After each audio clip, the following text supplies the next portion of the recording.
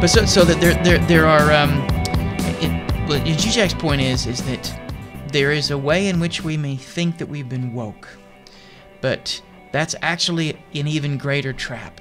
That to think that you suddenly see things clearly may be to be even further embedded and further trapped in the in things. So to and um, a wonderful example that he uses is that um, um, in California um, they banned straws, and now lots of people are buying um, metal straws they take with them.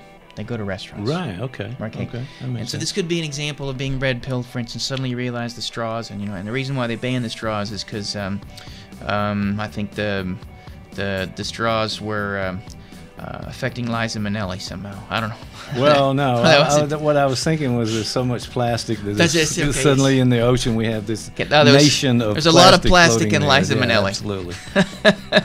I'm uh, I'm trying to move through that, but it, it I Okay, didn't I didn't get okay, very then. far. Go ahead. Is she still alive? Uh, yes. Okay, okay, okay. It's the plastic. So it lasts forever, but but the um, Okay. uh, so so uh, too much plastic. It's like killing turtles Right, and right. stuff, right? So they went to paper in California, made it a law, and moved on. Yeah, okay. Okay, there's nothing wrong with limiting plastic use, carbon f- footprint, but the problem potentially that is, as opposed to dealing with the root of the problem, of thinking about, wait a minute, what is, you know, why, why do I live in a world where, where, where things are going into the ocean? What's, what are the broader things going on here? You simply affect a small local change that may have no big consequence whatsoever. Right. Um, another example that Zizek gives is if you go to um, Starbucks and you buy a, ca- a frappuccino or a crappuccino, whatever you buy there, and uh, every time you buy one, you give a dollar goes to um, support a third world country family out of poverty. And Zizek, so again, nothing wrong with helping, but why would you question? There's a bigger question. Why do we live in a world where there we have actually there's enough of everything, but there are people starving?